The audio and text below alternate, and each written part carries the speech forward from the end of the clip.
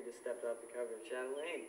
Uncle Willis, you didn't tell me you started boarding stray dogs. Nah, we're just being good Samaritans. But this one eats too. Oh, give me a break already, will you? It's been a long day. Yeah, Uncle Willis tells me you're going to do some real work this summer. Yeah, I've been planting trees. From sunrise to chow time, bent over a 60 degree slope. My back's got more twists than a pretzel. Yeah, I think I saw some of your handiwork on the drive in. Looks like you need a little practice, cousin. What do you mean? I couldn't help but notice that mile after mile of trees that have just been thrashed by the forest company. Oh, don't look at me. Talk to the chief forester over here. Look, I know you both work for Macmillan Bloedel and all. I don't want to come off sounding like some irate environmentalist, but I just don't understand how you logging guys can leave moonscapes like that. I mean, you call this province beautiful, and then you do something like that to it? Spare me, will ya? I just spent the last two weeks breaking my back on what you call a moonscape. Listen, in a few years, that's going to be a number one prime second growth forest. Yeah, well, forgive my skepticism, but logging surely is an ugly mess. Steve, you know what I'd like to do? You're off the next couple of days, and I'm on vacation. Let's give Karen a look at forest management. How does that sound, Karen? Sounds good. Can I ask all the questions I want? By all means, we've got nothing to hide.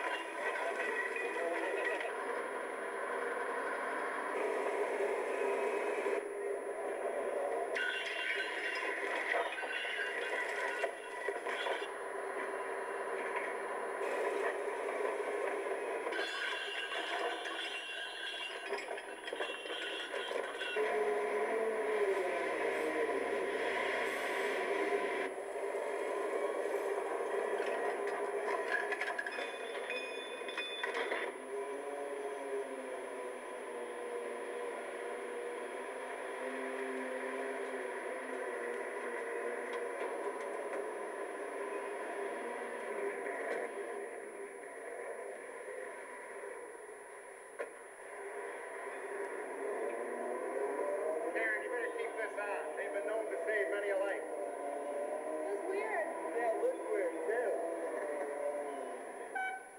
Hey, that's lunch. I'm going to go talk to Sid up in the yard. Good, we'll see you later. Yeah. How's it going, Jim? That's great, Willis. How's yourself? Fine, thank you. Jim, I'd like you to meet my niece Karen. She's visiting here from Toronto. Hi, Hi. Karen. Welcome to our logging operation. Thanks. Jim is our yarding foreman here in this operation. The yarding foreman?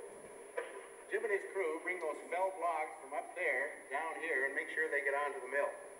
Whoa, those logs sure are big. Way bigger than the ones we had back in the east. How old would those be?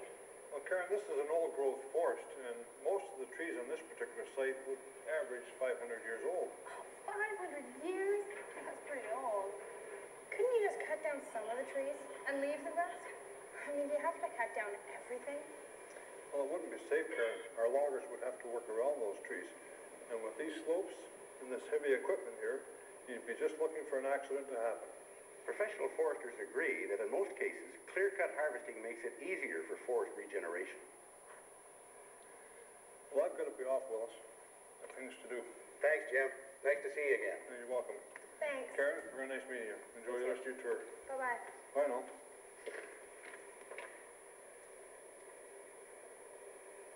What's that big, black, ugly patch over there? That's called a slash burn. It's one of the ways we get rid of this debris. this is a great operation, huh? Looks more like an atomic test site. Oh, well, sure, it's kind of an eyesore now, but in five to seven years, that's going to be a lush green forest. Give me a break. No, seriously. Look, I'll take you out to the planting site where I've been working, okay? It used to look just like that. Landscapes like that sure don't leave a very good impression for visitors like me. Well, once sandy seedlings take hold over there, it'll look like a national park. What's a sandy seedling? Well, Sandy's the guy who grows trees for Macmillan Bloedel. He starts them off in these really high-tech new greenhouses. I mean, uh, he works for Lupat. Lupat? It's a Lupat? Some kind of lunar patrol? LUPAT stands for Land Use Planning Advisory Team. They're a group of our technical experts. Steve hopes to get a job with LUPAT when he's through university. And one of their main projects is breeding trees to produce faster-growing forests. They also use computers to help design the forest. It's really a fascinating field. We can't change this instantly, Karen, but we will change it.